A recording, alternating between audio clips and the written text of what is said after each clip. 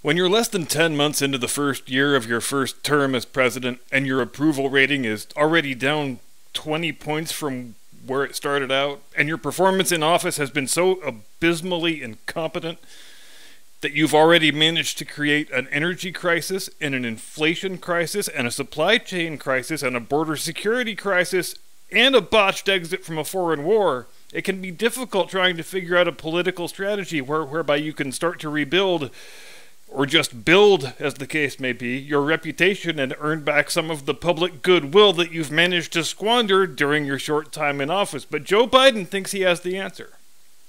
He thinks he's got a two pronged strategy for extricating himself from the political wilderness he's blundered himself into. The first prong of that strategy is throwing your vice president under the bus because amazingly she's even more intensely unpopular than you are. And the second prong is that Joe Biden is going to prove his woke, tolerant, diverse, leftist bona fides by calling people great Negroes. Now, we talk with some frequency on this program about the fact, which is beyond all argument, that Joe Biden has made more racially offensive statements in public than any U.S. political figure of the last 50 years. And wasn't it just a couple months ago during the hurricane that he casually referred to one of his aides, who is a black guy, as boy? And we all remember the You Ain't Black incident, which is so legendary it's hard to believe it was barely a year ago. And we all remember the 2008 campaign when Biden referred to Barack Obama, his future running mate, as, and I quote, the first African American candidate who's bright and clean and articulate and looks nice. And there's a delicious irony in that last one, the, the sort of irony that only Joe Biden could author with such deftness and aplomb. And that's probably the first time in history that the name Joe Biden has appeared in the same sentence with the words deftness and aplomb, but I digress. For it seems like the future running mate throwing shade at the future nominee has become something of a tradition in president presidential campaigns involving Joe Biden, or at least the last two of them at any rate. His first few runs at the presidency, the first of which I believe was in 1892 when he lost in a nail biter to Grover Cleveland, were defined more by embarrassing public gaffes, humiliating plagiarism scandals, and crushingly lopsided defeats than they were by any intrigue between future nominee and future running mate, probably because Joe Biden never had the slightest chance of becoming either one. But this is Washington, D.C., we're talking about. And if there is anything we know for sure about our nation's capital, it's that if you can't fail upward there, you can't fail upward anywhere except maybe Hollywood. So, Joe Biden remained stubbornly alive, and despite being as dull and unexceptional as ever, despite having no life accomplishments of which to speak and no discernible skills or talents in evidence, Eventually, it became his turn, and seemingly within five minutes of his becoming the presumptive Democrat nominee last year, he announces, I'm picking a woman of color to be my running mate. And after an exhaustive nationwide search, his people, well, they came up with a three woman shortlist Stacey Abrams, Karen Bass, and Senator Kamala Harris, the Ugandan headhunter, the California cackler, the bimbo of the border. I'll stop there. In other words, if you're Joe Biden and you're trying to settle on your running mate, your choice was down to a softcore porn romance novelist who once lost a governor's race, a dippy, dim witted senator who basically called you a racist and a segregationist bastard on the debate stage, and an actual honest to God communist. And look, while they don't share much of anything in common demographically, as vice presidential nominees and subsequently as vice presidents, it's not it's it's hard not to notice a lot of commonality between Joe Biden and Kamala Harris. Remember how little we used to see of Joe during his vice presidency? Remember how he'd disappear for weeks and months at a time? I recall joking with Lady Curmudgeon during 2009, the first year of the Obama administration, that they probably had Joe locked up in the bathroom in the basement at the Naval Observatory with duct tape over his mouth, with an ankle bracelet that gives him an electric shock if he gets to within six feet of a live microphone. And remember how, on the rare occasions when they did let him speak in public, he would make a complete blithering ass of himself, and that sounds a bit familiar, no? Remember how Obama's staffers got so frustrated trying to keep Biden out of his own way that they basically just gave up, threw up their hands, told him he was on his own? Because I'll be damned if that doesn't sound a lot like CNN's reporting from yesterday. And, and that stuff, of course, is all in addition to the elegant synergy, at least I think it's elegant synergy, between Joe in, in 2008 making racially offensive remarks about Obama and Harris on the debate stage in 2020 calling Joe a racist. And my, I haven't even, I haven't even gotten to the Satchel Paige thing yet, and the opening segment has already gotten away from me. So Jim Eagle, get me out of here.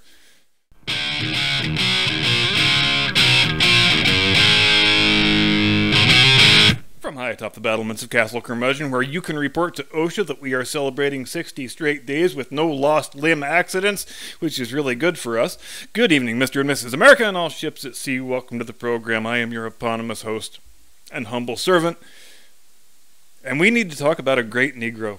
But don't take my word for it because it was President Joe Brandon, sorry, Biden, who said it. He didn't mean to say it, of course. He said it because he is a confused, doddering old coot who can't string six words together and has difficulty telling his ass from a hole in the ground, even though the hole in the ground never pooped all over the Pope. The thing he meant to say, when he, when he, when the thought popped into that cobweb-filled space that's between his ears and under his hair plugs, he wanted to mention Satchel Paige the thing he meant to say was, I've adopted the attitude of a great pitcher in the Negro Leagues and later in the majors whose name was Satchel Paige. And it's it takes less than 20 words to say it. But this is late period Joe Biden, so there's no way it was going to be that easy. By the time he got done mangling whatever was written on the teleprompter beyond any and all recognition, here's what he actually wound up mumbling out. Direct quote. I've adopted the attitude of the great Negro at the time, pitcher of the Negro Leagues, who went on to become a great pitcher in the pro in, in Major League Baseball after Jackie Robinson. His name was Satchel Paige. That is 39 words. Could have been done in 18. And he winds up calling a guy the great Negro. But you know what? I'm not going to sit here and pretend I think that's a racist statement, and especially not in the pantheon of things that have been said by Joe Biden that really were racially offensive. There's been a weird status quo that's developed in the last 25 to 30 years where, in, in American usage, the word Negro is always viewed as a pejorative unless you're talking in the context of Negro League Baseball, in which case it's perfectly fine to use the word as much as one pleases. Does it make sense? Of course, it doesn't make sense.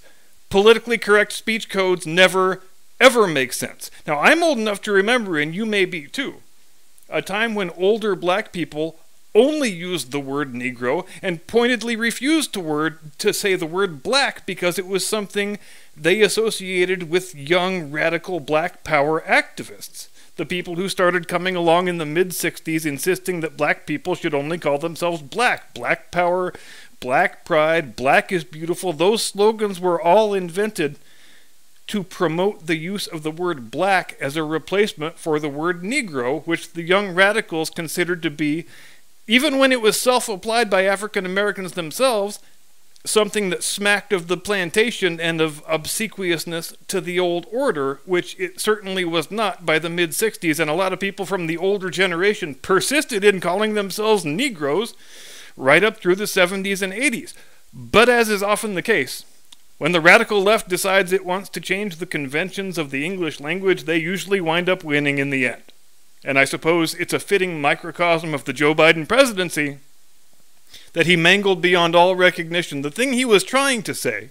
And the thing he was trying to say was wrong anyway, even if he had managed to state it coherently because I'm sorry, Joe, Satchel Paige was never a great pitcher in the major leagues. He was already well into his 40s when he debuted with the artists formerly known as the Cleveland Indians in 1948, and nobody really knows how well into his 40s he was, since Satchel Paige's true date of birth remains one of the hallowed mysteries in baseball history.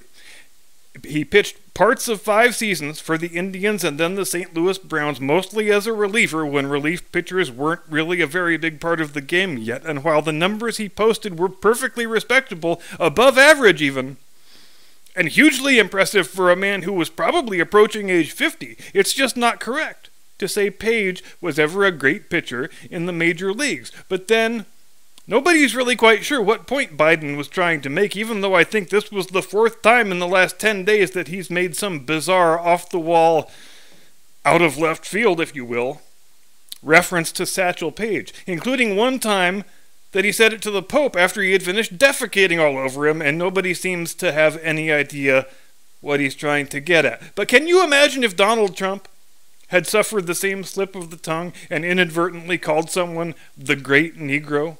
Can we even begin to envisage the 72 hour long paroxysm of pearl clutching hysteria that would then ensue across the world of fake news performance art? Can you imagine if Donald Trump pointed his finger at a black interviewer and said, If you don't vote for me, then you ain't black? Can you imagine if Donald Trump had done the same bright and clean and articulate and nice looking riff about Obama that Joe Biden did? In all likelihood, and we all know it, if Trump had said those three things, the Democrats probably would have impeached him three more times. But when Joe says it, who takes the blame? Right wing media, naturally. And that is a good and proper thing, because when you hear this much blubbering amongst the Washington elite class and the mainstream fake news performance artists, about the supposed depredations of the right wing media, it means that conservative media are over the target and they are making headway that they aren't supposed to make. The mainstream media did not have any intention, for example, of covering the Loudoun County rape scandal in Virginia. And when the story was broken by the Daily Wire, an independent conservative media outlet, they did they did everything they could, the mainstream media, I mean, in the first week to 10 days to bury that story and make it go away. And not just because they were trying to drag Terry McAuliffe across the finish line and make sure that their preferred candidate won the governor's race, but also because they had they had already spent the previous several months building a completely false narrative about angry parents at school board meetings being domestic terrorists, when in fact, in the one case that they had made into the cornerstone, into the linchpin of the entire bullshit narrative, the guy whom they declared a domestic terrorist he was angry at the board meeting because his daughter got raped in the school bathroom by a boy in a dress and the school board was covering it up because it was inconvenient to their desire to trumpet and celebrate their all gender bathroom policy during Pride Month. The media Democrat complex didn't want to talk about any of this. But the Daily Wire's reporting gained sufficient traction that they had to talk about it they no longer had a choice. They didn't want to talk about critical race theory either. So they simply declared that critical race theory does not exist and is not part of the public school curriculum, except, whoopsie, here comes another annoying conservative media outlet that has the receipts and the emails that prove beyond a shadow of an inkling of a doubt that CRT was explicitly and intentionally inserted into the Virginia public school curriculum over four years ago. And then it was, okay, maybe it does exist. Maybe it is being taught in the schools, but if you've got a problem with that, it's just because you're a filthy white supremacist who doesn't want your kids to learn about slavery. In other words, if we are bad at our jobs, it's because you're a racist. If we get busted trying to bury a story for political reasons, it's because you're a racist. If we get caught red handed just lying out our ever loving asses about the facts of a case, it's because you're a racist. And also, I'm pretty sure you caused climate change by being a racist, also, but the mainstream fake news media do have plenty of good reasons to view the future with trepidation. For the president they propped up throughout the fake campaign of last year, whose carcass they dragged across the finish line with all the weight they could muster, whose every error and misstep they covered for, whose every incoherent utterance they dutifully translate, his approval rating sits in the mid 30s and continues to plummet, which means the fake news performance artists have largely lost their ability to manipulate public opinion, except to the extent that when the mainstream news media says a thing, most people feel like they can just go ahead and assume it's a damned infernal lie because it nearly always is one. Oh, and speaking of damned infernal lies, the January 6th Commission is still a thing, apparently. They've been holding hearings that not many people have been paying attention to, but now Adam Schiff is hopping mad. And why is Adam Schiff hopping mad? Adam Schiff, who can make a fairly strong claim for being the most brazen, most prolific, most congenital liar in the history of the House of Representatives. Adam Schiff, who remains the only man living whose head appears normal size when he stands in front of a funhouse mirror.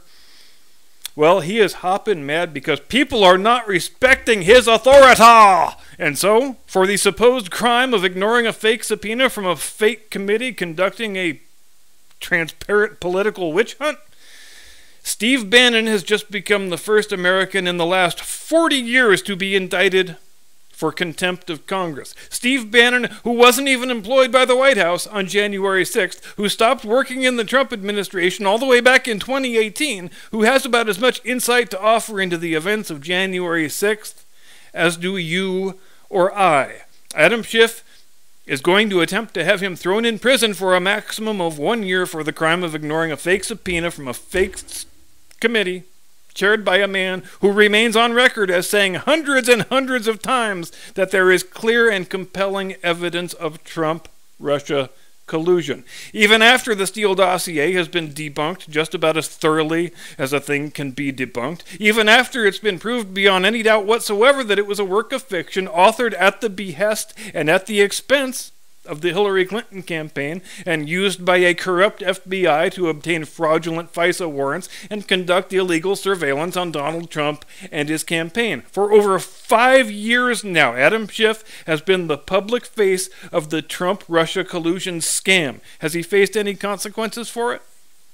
Any sort of professional recrimination at all? Nope. He is not. Not even a censure vote. Not even a resolution that says, Please try not to lie so much in the future. Even after all that, even after establishing himself as the single most corrupt scumbag narcissist in a city overflowing with corrupt scumbag narcissists, Adam Schiff is still empowered to persecute other people, to ruin their lives, destroy their families, wreck their finances, and for what?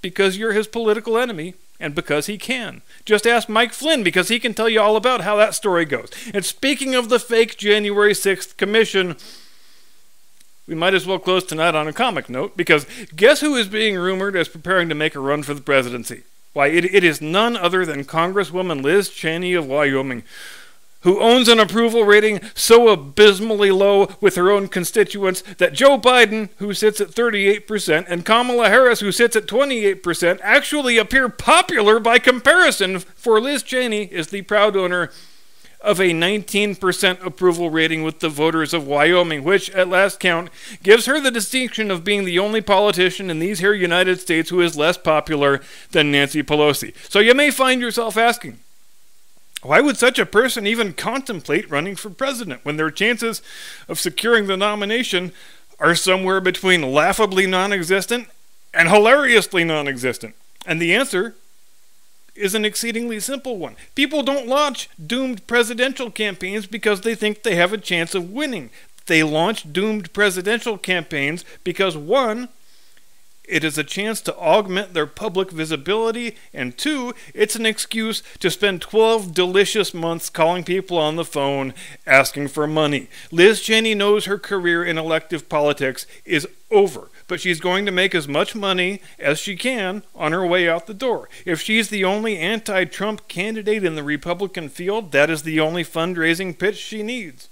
I hate Trump, send me money. And everybody in the donor class who can't stand Trump, they will duly scratch her a check. She'll be a fringe candidate. She won't win any delegates, but she'll be able to scrape together enough cash to build herself a nice retirement cabin from which to make her appearances as a CNN analyst, which is the actual job that she's angling for. Meanwhile, on the Democrat side, they find themselves in the unique, possibly unprecedented position of not having the faintest idea who their presidential and vice presidential nominees are going to be in 2024.